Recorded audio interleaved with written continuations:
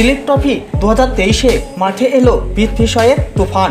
বন্ধুরা, একটা ম্যাচে পৃথ্বী শ করে ফেলল চারশো পঁয়তাল্লিশ রান এবং ভেঙে ফেলল ওয়ার্ল্ড রেকর্ড এবং মাত্র এত বলে এই চমৎকার করে ফেলল পৃথ্বী শ আপনারা যদি দেখতে চান যে পৃথ্বী শ কীভাবে কুটলো বোলারদেরকে, তাহলে বন্ধুরা ভিডিওটি লাইক করুন এবং চ্যানেলটাকে সাবস্ক্রাইব করে রাখুন।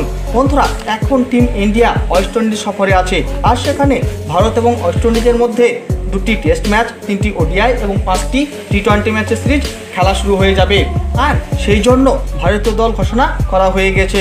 আর এই দলে পৃথ্বী শকে সুযোগ দেওয়া হয়নি। কিন্তু বন্ধুরা, পৃথ্বী শ মার্কাটারি ইনিংস খেলে উচিত জবাব দিয়ে দিয়েছে বিসিসিআইকে বন্ধুরা, দিলীপ ট্রফির সেকেন্ড সেমিফাইনাল ম্যাচে ওয়েস্ট জনের হয়ে খেলে পৃথ্বী শ খেলে ফেলল একশো একান্ন বলে চারশো পঁয়তাল্লিশ রানের মার্কাটারি ইনিংস পৃথ্বী শ তার এই ইনিংসে মেরেছিল একান্নটি চার এবং পনেরোটি গগনচুম্বী ছক্কা।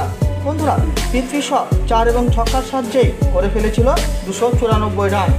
বন্ধুরা পৃথ্বী শকে কি ওয়েস্ট ইন্ডিজ সফরে পাঠানো উচিত ছিল, কি ছিল না, অবশ্যই কমেন্ট করে জানিয়ে দেবেন আপনাদের মূল্যবান মতামত।